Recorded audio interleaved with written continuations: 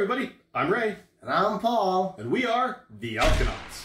And today we have a can coming all the way from Winnipeg, Manitoba. Thanks to Alan from One Flight Down. Thank you so much. We can't wait to try this baby out. Ray, give us the tale of the tape. Alrighty, so this week we've got Sookram's Curry Stout. It's from Winnipeg, Manitoba. This comes in at 7% ABV, and I'm really excited to try this one. All right, as usual, I'm thirsty, so let's crack this baby open. Whoa, hold up a second. Have you read the ingredients on this one? No. You might want to.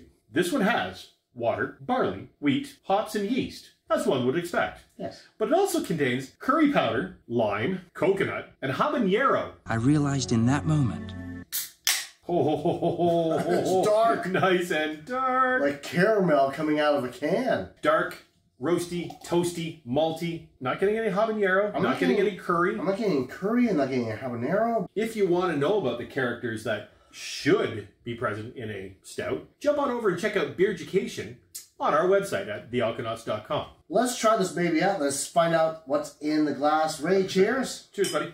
Cheers, everybody. Cheers, all.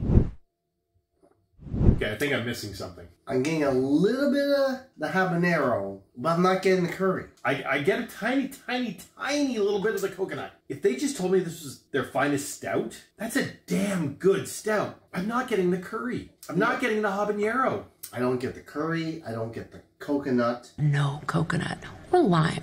It tastes like a stout. You get that maltiness in there. Yeah. I'm I'm enjoying it. Yeah, it's it's a lovely, lovely, wonderful stout. I'm disappointed only in the fact that I thought there'd be more to this, but as a stout, it's really, really good. I just think it's a little uh, a false advertising. That's false advertising. No offense, but if you're gonna say it's a curry stout, it should kind of taste like a curry. Yeah, I was expecting something a little more robust, but damn good stout. It's got what a, a stout should be. Yeah. It just doesn't have what the label says it is. Fool me once, Sookrams. Shame on you. Fool me twice. That'll be a shame on me. All right, Ray. I want you to give me the rules of the chug, like you're working at a call center and you're trying to explain it to someone in customer care. Okay, have you turned it off and back on again? It's a beer. Did you open the beer? It's open. Okay, is it in the glass? Half of it is in my belly. Okay, so then I'm going to count us down from three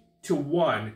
And when Paul says go, we're going to chug these as fast as we can. I'm just going to tell you, Paul is my favorite.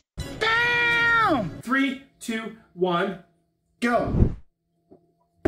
What is your final thought on this beer? I gotta call a spade a spade. I don't taste the curry. I don't taste the coconut. It's not a curry stout.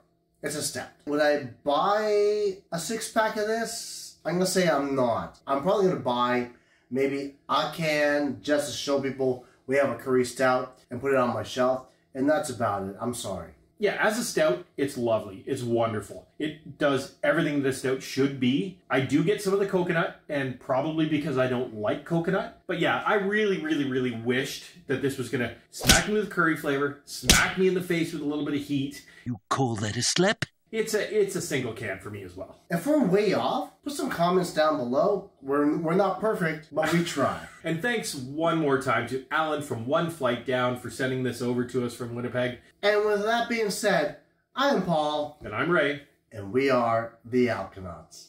Cheers all. Take care.